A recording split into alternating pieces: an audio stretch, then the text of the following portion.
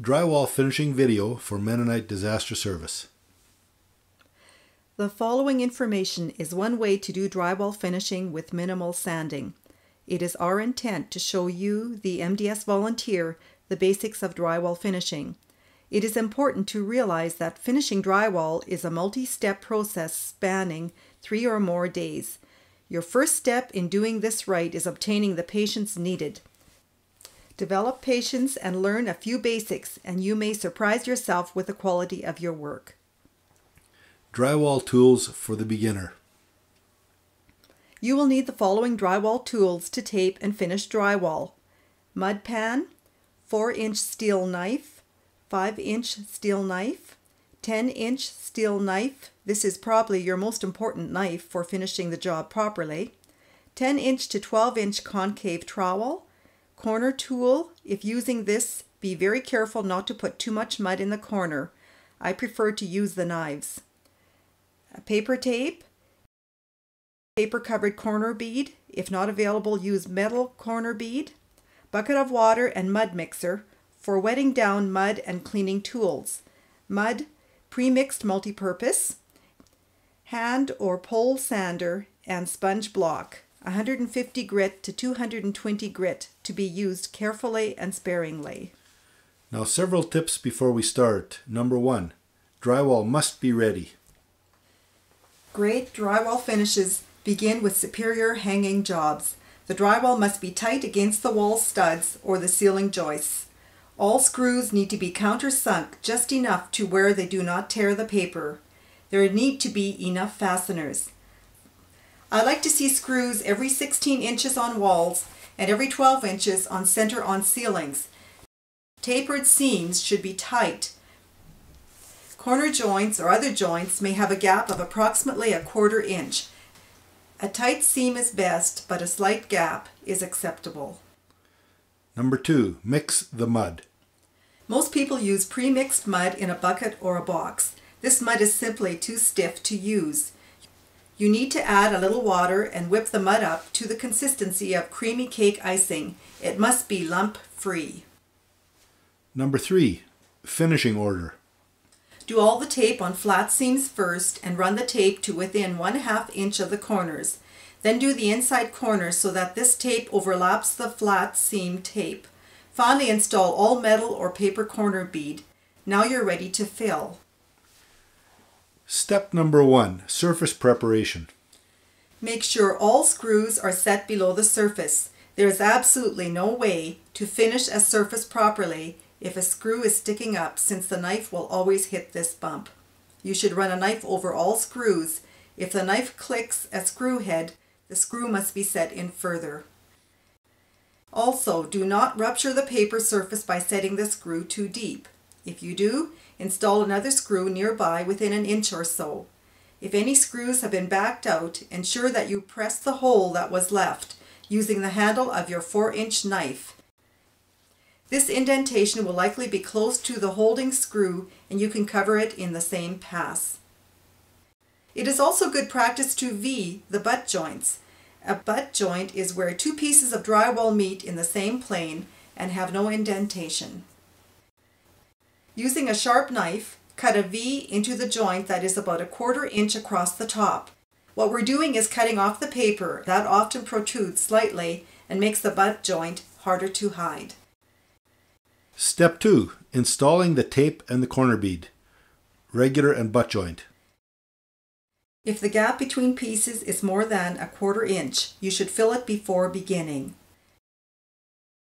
Place mud on the joint at a width slightly more than the width of the tape. Make sure all the surfaces where the tape will be placed is covered with an ample supply of mud. Leave no bare spots. Don't worry if there is little excess. Place the tape on the mud, covering the joint. Center the tape over the joint. Hold the tape at the very bottom and start drawing the 4 inch knife up tightly against the tape at about a 45 degree angle. The mud should run out the sides onto the knife.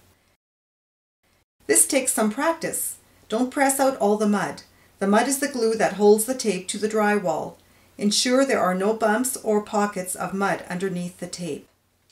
Inside corner joint.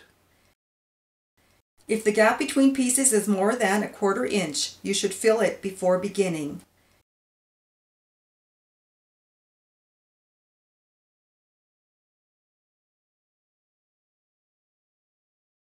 Place adequate mud on each side and the corner itself so there will be no voids or bare spots when the paper is applied. The mud should be applied about 2 inches wide on each side of the corner.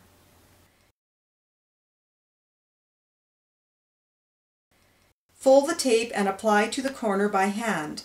Press the inside of the corner in as far as possible to avoid any pockets.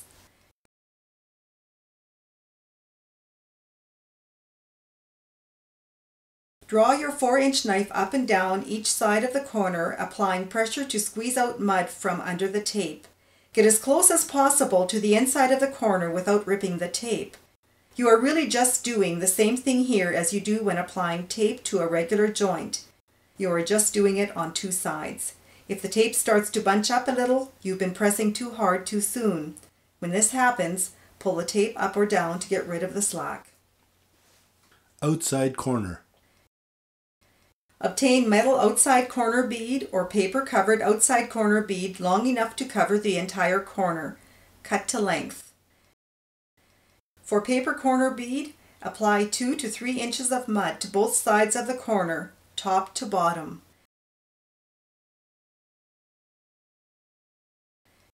Place corner beads so that the top touches the ceiling. Using your hand, set the bead into the corner starting from the bottom and sliding your hand up to the top. Mud will squeeze out the side.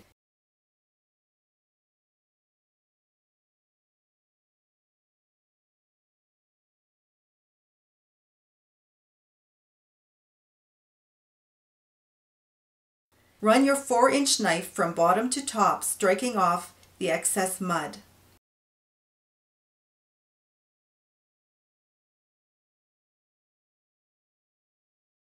Check your set on the corner bead by placing your knife perpendicular to the bead and against the wall.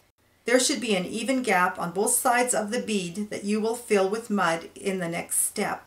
If the gap needs adjusting, simply push the bead in the direction it needs to go. Then run your knife up both sides again.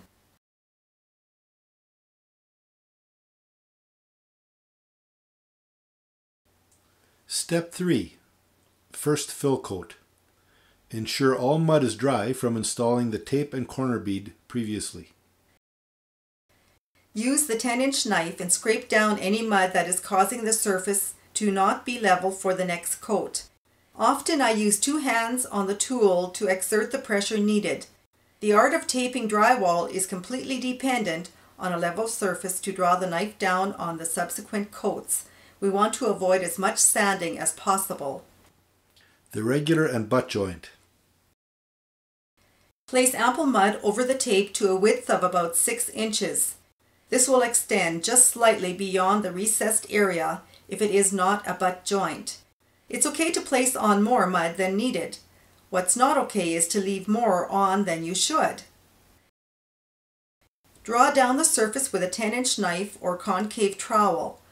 Hold the trowel at an angle closer to 60 degrees and place pressure on the trowel as you draw down or up keeping the trowel in motion as you draw.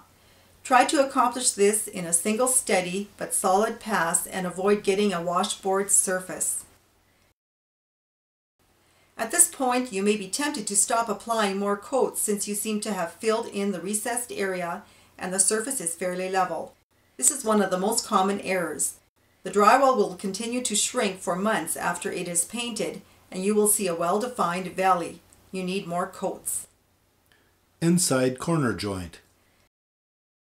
Using the 4-inch knife, scrape down the surface on each side of the corner.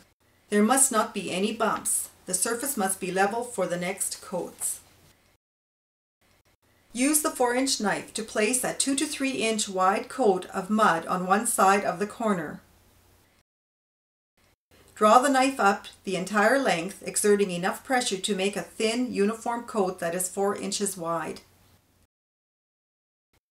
You do only one side of the corner at a time. If using the corner tool, you may do both sides but great care must be taken not to build up the corner too much. In the final end, you only want 1 16th inch of mud to cover the tape.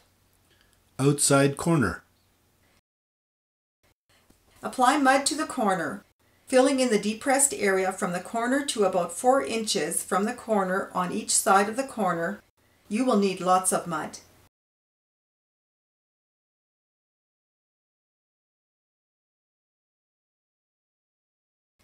Use your 10 inch knife to draw up the mud using the corner as a guide. If there are drag marks or voids, don't fret since you will fill these in when you apply more coats.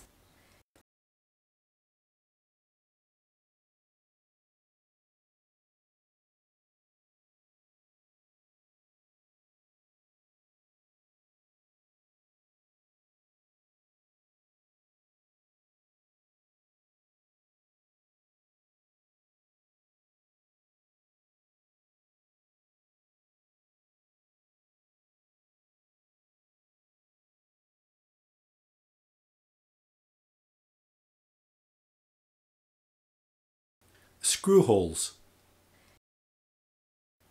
Using the 4 inch knife, apply enough mud to fill the screw indentation going in one direction. Then immediately pull the knife across the same screw in the other direction, applying firm pressure. That screw is now done for the first time. Move on to the next. Step 4. Second fill coat. Ensure all the mud is dry from step 3 Use the 10 inch knife to level out any mud sticking up or fix a washboard surface. To deal with a washboard surface, draw the knife perpendicular to the ridges and keep scraping till the ridges are gone. If you hold the knife almost perpendicular to the wall, you can scrape off non-level spots quite well.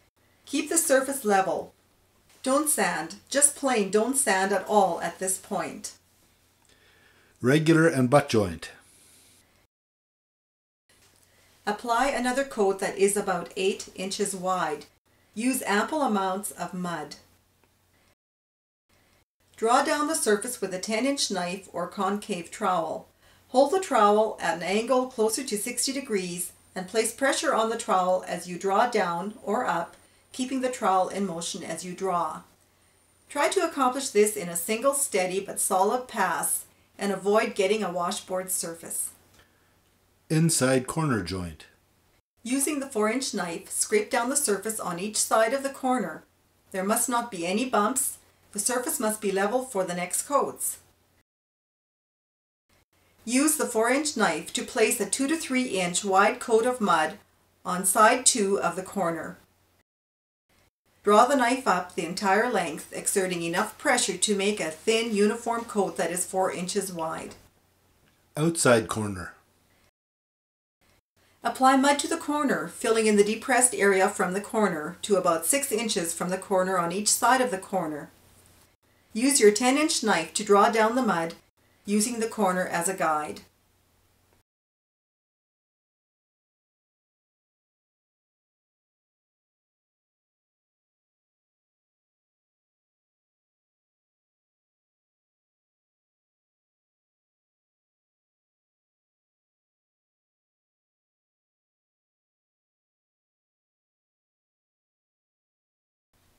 Screw holes. With your 4 inch knife, scrape off any mud sticking up around the screw.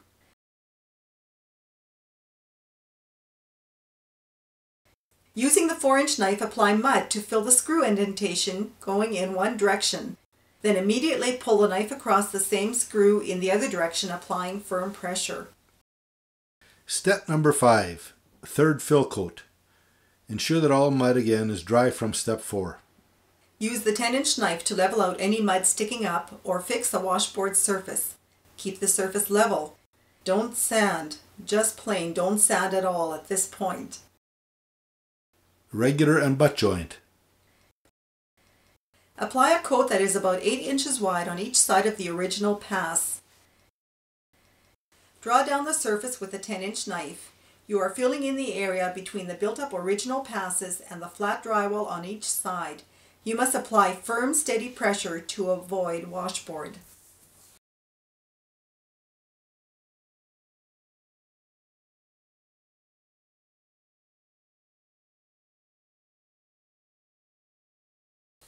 Inside corner joint. Using the 5 inch knife, scrape down the surface on each side of the corner. Use the 5 inch knife to place a 4 to 5 inch wide coat of mud on side 1 of the corner. Draw the knife up the entire length, exerting enough pressure to make a thin, uniform coat that is about 5 inches wide. Outside corner. Apply mud to the corner, filling in the depressed area from the corner to about 8 inches from the corner on each side of the corner.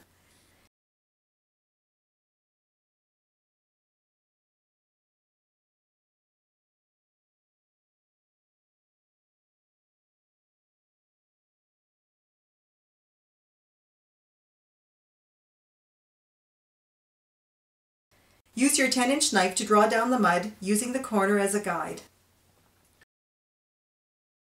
Screw holes. With your 4 inch knife, scrape off any mud sticking up around the screw. Using the 4 inch knife, apply mud to fill the screw indentation the same as previous steps.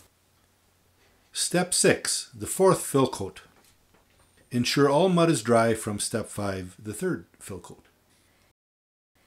Use the 10 inch knife to level out any mud sticking up or fix a washboard surface. Keep the surface level. Don't sand. Just plain don't sand at all at this point. Regular and butt joint. Apply a coat that is about 8 inches wide in the middle of the original pass. Draw down the surface with a 10 inch knife. This coat is filling in any minor indentations. You must apply firm, steady pressure to avoid washboard and leave very little mud on the joint.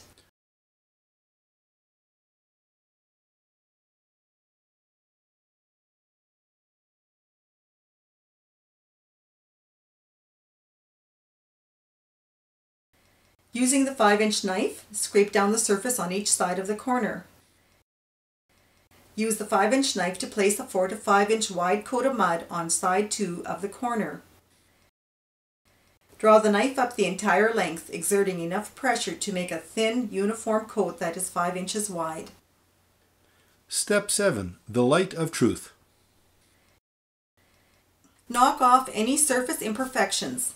Dust or vacuum the surface then get a lamp or trouble light, the light of truth, and shine it at a low angle. You will see any imperfections, perhaps more than you care to see. Fill in any drag marks, air pockets, or other imperfections with a small amount of thinned mud applied and drawn down tightly with either knife. I like to use the 4 inch knife if possible since I can exert more pressure and leave as little mud on the wall as possible. At this point, the smaller amounts of mud will dry very quickly, within minutes. If you are seeing faint washboard-like waves even after knocking down the surface, you can remedy this nicely by applying a very thin coat of mud drawn perpendicular to the waves. This is much better than trying to sand the surface level. When dry, knock down the surface again. Step 8. Sanding. Now, finally, sand very lightly as needed with a sheet of fine 150 or 220 grit sandpaper. Do not use coarser grit paper except for problem areas like the meeting of two inside corners or narrow strips where you can't properly use a knife to prepare the surface. Use a sponge sanding block for the tough corners. Dust or vacuum the surface, shine a light again, and fill in any remaining imperfections with thinned mud firmly drawn down. You shouldn't have to sand again. Avoid sanding the paper surface of the drywall. Step 9. Walkabout. Together with your crew, do a walk through the home you have completed.